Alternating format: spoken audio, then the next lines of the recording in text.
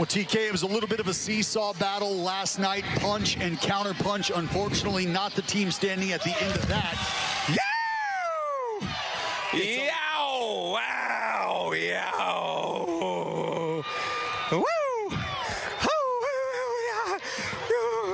A bit chilly? Yeah, this warm, warm.